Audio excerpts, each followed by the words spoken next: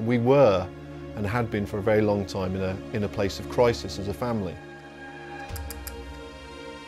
And I was very, very tired. I'd come to the point where I thought I would go mad or drop. No one understands you uh, from the outside. No one had any idea about the kind of life that we were living. That I, and, and I just, I cracked.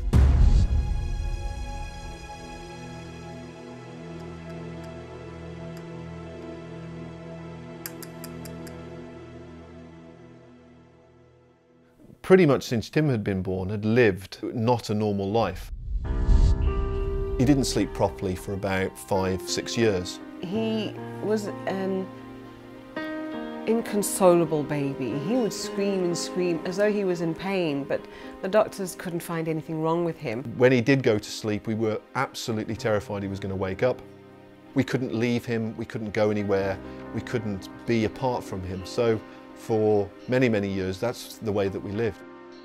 It was very, very tough on us, um, our relationship, because we didn't have any time for ourselves. For a long time, there was not a lot of intimacy, there was not a lot of um, emotional connection because of the, the crisis that we were in as a family. When he was about nine, eight or nine, and he hadn't been to school because we realized that he would have been diagnosed with hyperactivity or, a lack of ability to concentrate because we could see he couldn't even sit down to eat a meal. He would run around the table, take a mouthful, run around the table. And when I taught him his numbers, we would do it in the garden. I'd ask him a sum as he ran up the garden and he'd answer coming down the garden. And this is how I taught him. He never sat on my lap or um, lay in bed while I had a bedtime story. He would walk round the carpet touching his favourite bits going round and round and round. And as long as I would keep reading, he'd just keep walking round and round, touching his favourite bits. Everything was timed so he knew where he was in the day, what was going to happen next, and the routine had to be very structured. His sleeping had always been a huge issue.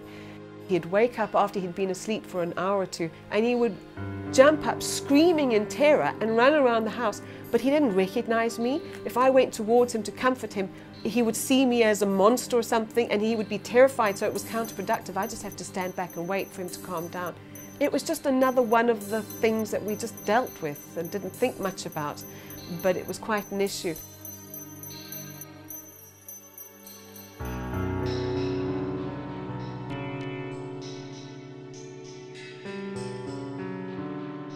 When we had James, many people have said to us, You'll surely not get another child who doesn't sleep, who sleeps as badly as Timmy did. I noticed one or two strange things when he got to be 18 months and then he started spinning round and round, moving his head round and when I changed his nappy he'd flap, flap, flap, flap. And then instead of pushing the cars, we had action man cars, big ones, he'd turn them upside down and spin the wheels for ages. So there were a few little odd things, but not enough to really it, I would just facilitate his peculiarities and thought it was okay.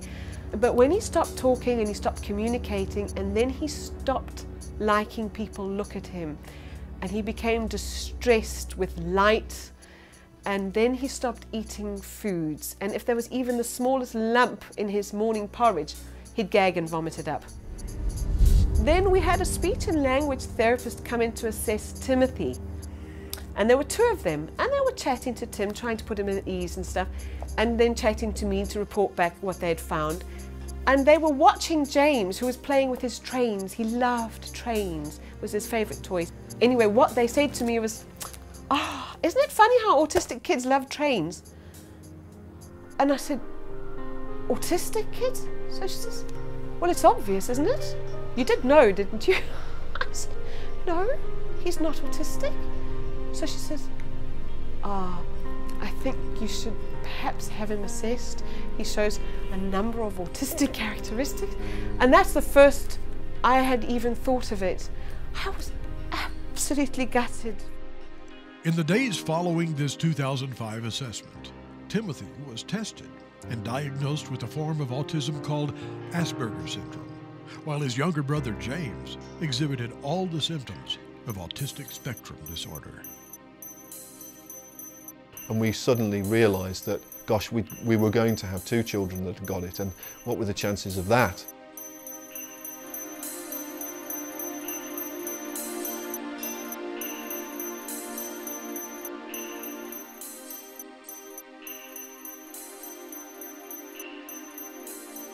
I, I did know that I was really struggling. I wasn't living a normal life myself. I'd lost touch with who I was. I just functioned 24 hours a day as caring for these boys. So I was ploughing a lot of my energies into my job because I needed to make sure that that was successful to be able to support the family. That meant travelling a lot. And I thought if anyone found out my state of mental health, they'd take the children away. I was absolutely terrified of them taking the children away. But I was also terrified that I couldn't go on. And that's when I cried out to the Lord. I said, if you don't help me now, I'm, I'm finished. The incredible pressure and the incredible um, trauma that you, you, you undergo as a family. You have to watch your, your children, the, the, the things you love most in the world, battling not just with uh, the, the, the curse that they've got, but also being rational enough to know that they've got it. And it was those periods in which Debs found it the most hard, in which she had the darkest days. And it was during one of those dark, dark days that she watched the Mother's Day um, programme. They were all mums talking about their kids and they were talking about, they were showing snapshots and pictures and talking about the, which ones are doing what at school and they were chatting. And it just hit me like, like a sledgehammer that what I'm experiencing and what they're experiencing are just so different. And I was weeping, and then I said, You know, why don't you help us? I had been asking God help me for, for years. And I said, I love my boys so much, and you're supposed to love them more than me. Why have you done this to them? And I said, I would die for my boys. And that's when he said, I already did. I was so stunned. I just shut up. I didn't, I stopped crying. I just looked into the fireplace and I just stared there. I thought, that really wasn't my thought. That really, that was Jesus talking to me. and that's when I knew that they were all right. And I thought, well, he'll heal them. I just sat there and stared at the fireplace. The tears went, the pain went, the anxiety went, the fears went. Everything that had worried me over the past number of years, it was like a huge load was just cut away and I was free and I felt light and I just sat and stared into that fireplace. And from that moment on, that despair, that terror, the anxiety that I'd lived with was gone. When Timothy went to the, the school that was funded by the, um, uh, the state, it was a really huge thing for us, but we felt that he was actually quite capable of doing it. And as he progressed and as they increased the number of hours he went, he was up for it. And I believe that the healing just took place gradually as and when his world opened up and became wide and he needed to cope with more and more things. It's almost as if he was covered in scales. He was covered in the scales of autism and over time those scales have been peeled away. And I was saying, Lord, please send me someone to help me. I know you're healing my boys, but I don't know what to do. And that was where we were at when my mum phoned and said, watch Andrew Wommack. Ah, he's got this, some healing testimonies and you've got to watch it. And we all watched it together and it was just extraordinary. And even that, you sit and watch it and you think, well, is it really true? We had missed the beginning of Hannah's story, but we came in and from where we saw was enough to see what had taken place with Hannah's story. And the bit that struck me and was when he said, piece of cake for Jesus. Piece of cake for Jesus? This is a piece of cake for Jesus. And this smile crept across his face and I was like, that's awesome. this guy really believes this, doesn't he? You know, and that faith on the inside of us rose up. So Father, Jamie and I just agree. And we thank you that by the stripes of Jesus, Hannah has already been healed. It just, my faith just, faith just rose up inside of me. And I thought, yes, he's talking about my God, my one. And that's when Christopher jumped up and went to check out the website. We researched Hannah's, Hannah and her story and we found out about Hannah's grandparents and Hannah's mum and dad going to live in, I think, in America, and their, the grandparents going to the college in Walsall. It didn't just have an impact on Hannah, it had an impact on this incredible family, and, and, and they were all, they'd all experienced it, and they'd all gone through this process. And again, you're then thinking to yourself, wow, you know, maybe this, maybe this is all true. Maybe this is really happening. And from that point on, started to watch Andrew Wommack every day. But we bought all his books, or as many books as we could get. Um, started to record his programs, watch him on the internet. And we started to build up a kind of trust, I suppose, um, in what he was saying and in what he was saying we could have. And he shouted from the study, he's going to be in Walsall in two weeks. So I thought, well, we'll just have to pray about it. So I phoned Andrew Wommack Ministries and I spoke to a woman there and I told her the situation. I said, look, we want to come. We want Andrew to pay for our sons, but we just need some help to get there. And I remember she said to me, what can you believe for? I think we can get there, but I'm not sure that I can exercise my faith enough to see us getting into the building. So she said, that's fine. We'll get you there. And if we can't get them out the car, we'll send a prayer team to the car. I thought, yes, she prayed in a way that I had never heard before. And it was great. It was authoritative. It was thanking God that it was done. It was commanding. And I thought, now we're talking. I have not heard this kind of praying. And I was so thrilled. I put down the phone and I said, She said that this is going to happen and this is going to happen and we're going to sleep and he's going to eat. And Christopher was like, Yeah, she's never met my son.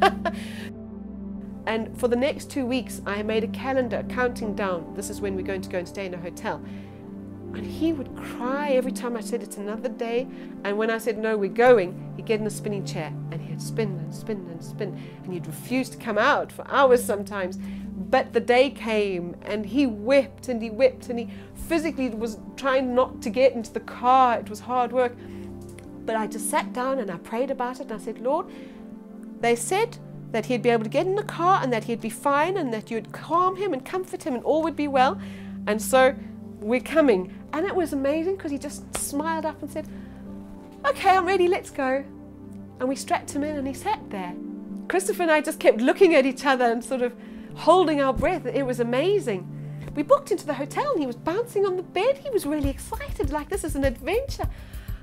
And once again, Timothy was like, he couldn't believe it. And we said, okay, we're going to go and eat at the Kentucky Fried Chicken that the Teradezes ate at. So we were off to the Kentucky Fried Chicken. And that's when Timothy ordered himself some popcorn chicken. We didn't know what to order James, so we thought, well, we won't bother with anything because if we offer him food and he doesn't like it, he starts heaving. Sat down and he looked at the food. There was no heaving, there was no watery eyes and, that he would normally have with cooking smells. He sat there, he looked at the popcorn chicken, he said, What that? And he said, It's something called popcorn chicken. Said, Oh, chicken, chicken. And he had one. Mmm, he said, he said, Timmy, mine. and he ate. And when he was finished it, he said, More, more.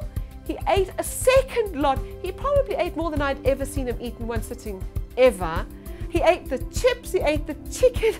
and we, Christopher and I were just laughing and said, it's a miracle, and we haven't even got there yet. And it was an answer to prayer. It was what she had prayed was happening.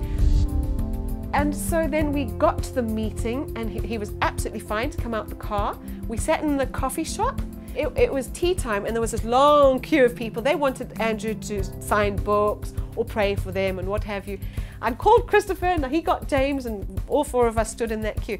And I was moving slowly along, and there were about five people in front of us when Andrew said, Right, it's time to get back, tea break's over. Will everyone please go and sit down? I was like, No, no, no, no, no. And I started crying. I just, it was like the taps just opened. I thought, No, no, I'm not going home now. I'm not, I'm not, I can't go home now. I said, Oh Lord, help me, help me, help me. I'm not going home without this man praying for my sons. And then that was when Paul Flanagan saw us and he grabbed us and he shoved us in front of Andrew and said, Andrew, just one more. And he said, Right, okay, one more. And we told him the situation and he said a, a prayer, something along the lines. It was literally as quick as this. He rebuked autism and he commanded healing. And then he blessed us as a family and he thanked the Lord that we were blessed and that we would. Um, something along the lines of, of, of fulfill the, the God's plan for our lives. And then he said to Christopher and I, and this was so huge, he said to Christopher and I, You are now the parents of normal, healthy children. And everything happened so quickly. I remember hearing that, like, the whole world went quiet and it was just these words. It was, I, to me, and I still believe it, it was Jesus talking to me. And so that was a promise. That was a promise. That, I, that was for me. And I knew that he was right. And I was so moved. And we just slipped out the side door, got in the car, and we went to McDonald's where James ate the chicken nuggets and the chips. I think he'd never eaten for, well, he'd never eaten. And we went home. He went across the road to the little girl who he had known but hadn't played with for over a year, invited her round, and they played in the sandpit on the trampoline in the garden.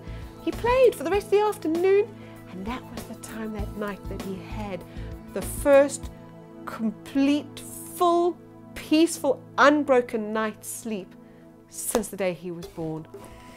And he was five years old at that point. But when three months later, he's still sleeping well, when six months later, when a year later, two years later, he's still sleeping well, and, he, and he's starting to become the child that you thought, that you knew was there, but you couldn't reach because of um, autism, um, you believe in it and believe in the process. And those experiences have allowed us to start to live a normal, a more normal life.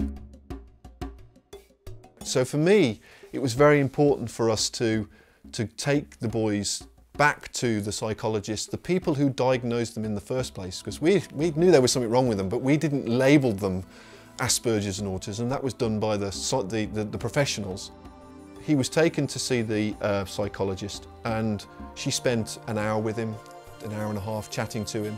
And at the end of it, there was no, there was no battle, there was no fight. It was patently obvious that he wasn't the boy that had been diagnosed all those years ago. And um, what they said in the official medical report, confidential medical report from the NHS uh, trust where we lived, was that um, Timothy is a neurodevelopmentally typical young man and the label of Asperger's syndrome is not applicable. He has been discharged from my care. and that is, to see it written down, to see it, and I know this sounds awful, but to see it official really, really brings it home. So as James developed and as James came out of um, his, um, his illness and came out of his uh, disease, uh, we wanted to do the same as well. And we were expecting probably an even worse fight with James because um, we thought again we're going to take on the might of the state here and these professionals aren't keen on being proven wrong, particularly with something like autism because it is regarded as being something that can't be cured. And so when we went to see the psychologist, she said, well, this is wrong. This diagnosis is, is, is obviously not, not applicable to him. He's a normal boy. He has, he's perfectly capable of dealing and being what you would regard as, as normal. So she wrote uh, in her official confidential uh, psychology report that we only had uh, last week, as a result of our discussions and my interactions and observations with James during our appointment, it is clear there has been, been significant progress over time in all areas associated with the triad, triad of impairment with autism. As a result, the label autism spectrum disorder is no longer appropriate for James and should be removed from any documentation in the future that relates to him. And and you just you know you can't when I read that you just I just, I just want to start I just want to start crying really because it's just it's not just what we've experienced and it's not just that we know it, but because this is now official, it means that forever and ever. So when we've gone, when the boys are men, when they're old and they're grey, they will not have this with them. They will not have carried this burden that they've had to carry in their young lives. They are free of it. And the, the, the authorities, if you like, have recognised that as well. And they won't be persecuted or hindered in any way for what has happened when they were children. And, and I suppose for us, well, for me certainly, that's the best thing that we could do for them. The best thing that we can do for both boys is to give them a future that we didn't think that they were going to have. And this gives us that future. Sometimes you, you have to pinch yourself to think, well, I, am actually with the same two children, you know, that were born to me because the, the change in, in the way that we play and the change in the way that they relate to me is, is, is very pronounced. And I used to dream about all four of us going out to dinner together and, and not worrying about anything, just like a normal family. I used to dream that if we were invited out to other people's houses, we'd all just go and it would be fine. There wouldn't any no fallout, nothing. We'd just be able to go. I used to dream about going to the cinema and eating popcorn and boys eating popcorn and watching a movie together as a family. All none of these things had we ever done before. But we went to the cinema, we bought the popcorn, we did it just as I had imagined. We are a normal family, and I am the mother of normal, healthy children, just like Andrew said. So that's it. Happy, happy.